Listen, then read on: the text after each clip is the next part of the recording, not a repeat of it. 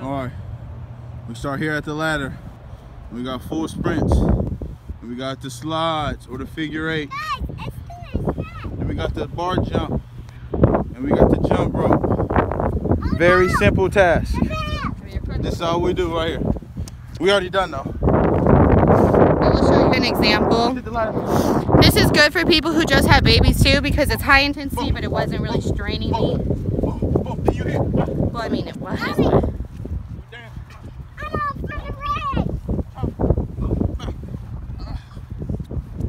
We're gonna do this five times, but I'm just gonna do two.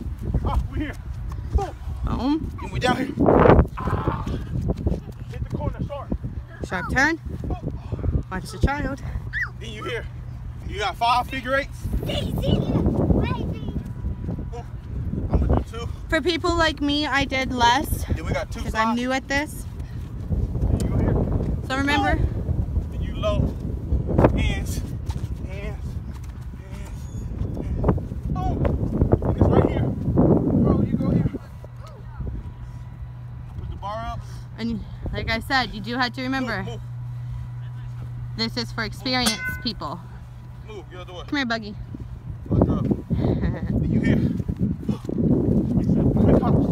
Knees to the chest. Careful on grass. Then you here. About coming up jumps. A couple of jumps. You keep it going. See the lift off the ground. It's easy.